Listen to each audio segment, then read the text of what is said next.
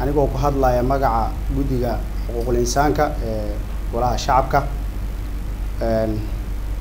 waxaan rabnaa inaan maaragtay aan baaqan u dirno qurbajoogta soomaaliyeed ee ku dhaqan dunida daafaheeda kala duwan.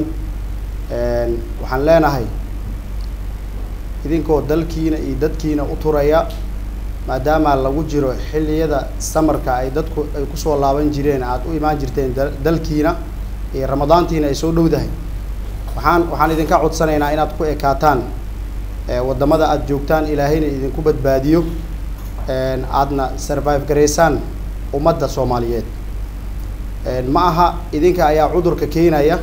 Waxaa laga yaabaa inta aada waddada ku soo jirto viruskaas adiga laftirkaaga inuu ku haleelo. Waxaan waa musiibo.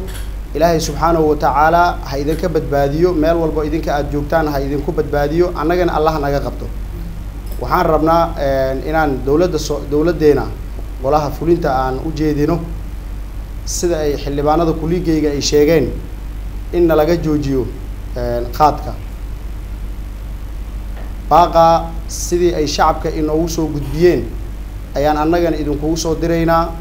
Waxaan codsanaynaa in jaadkaas sida ugu dhaqsiyaha badan ay dowladda laanta fulinta ay wax uga qabato ayna joojiso. Asalaamu calaykum waraxmat ullah